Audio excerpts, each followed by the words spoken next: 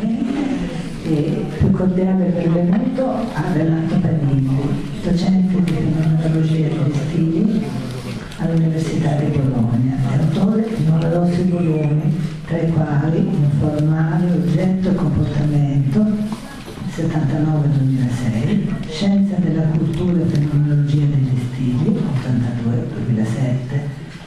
contemporanea, no, 84-2005, Maniera moderna e manierismo, 2004, prima e dopo il 2000, ricerca artistica, 1970-2005, 2006.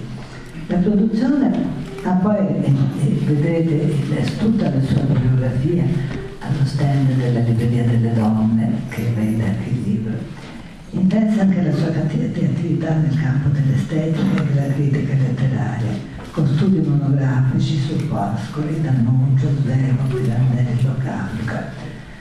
La produzione di storie universali oggi non è frequente, non è violenta molto. Prevalgono la diffidenza nei confronti delle narrazioni estese e l'orientamento verso le microstorie sovretto dalla fiducia che abbia ancora un senso una lettura dell'intera storia dell'arte sulla base di una metodologia critica, Renato Barili propone arte e cultura materiale in Occidente, dall'arcaismo greco all'avanguardia storica. Quella di Barili non è una storia sociale dell'arte, ma delle tecniche materiali.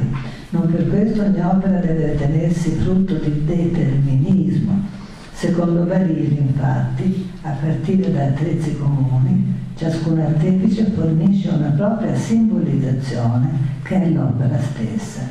E questa può essere sia l'espressione della società del tempo che anticipazione e apertura di senso verso un'epifania, come ad esempio in Leonardo e Cézanne.